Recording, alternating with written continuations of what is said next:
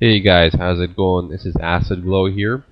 I'm coming back with another achievement guide for uh, RAAM's Shadow, which is the DLC for Gears of War 3. Uh, this is the achievement for I'm Rubber, You're Glue.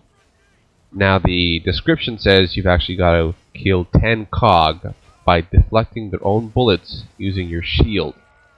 Now you only get a shield when you use the Elite Mauler. Now, you guys need to be aware that in order to be an elite mauler, when you're joining a co-op game and campaign, you've got to be players 3 or player 4 when you're joining the party, okay?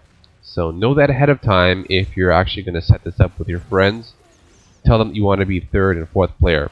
Because player 1, which is the host, is always going to be RAAM. Player 2 is always going to be the Theron Elite card. So 3 and 4 go towards the two Elite Maulers.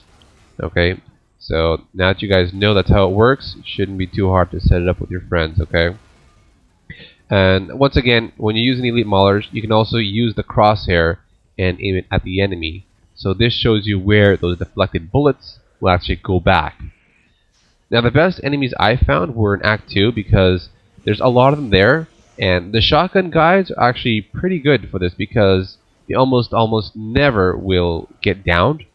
So because their shotgun blasts actually shoot in a burst, so they die almost instantly. So I found those were the easiest ones. But other ways, I mean, it's not going to take too long for you guys to do it on, on Chapter 2. It was pretty quick for me. So that's pretty much all you need to do, guys. Now that you know how to do it, have fun. Hope you guys get your achievement. It's not too hard. Anyway, see, there came up for me right there. I'm rubber, you're glue. So that's how it works, guys. Good luck, and we'll see you around. Bye-bye.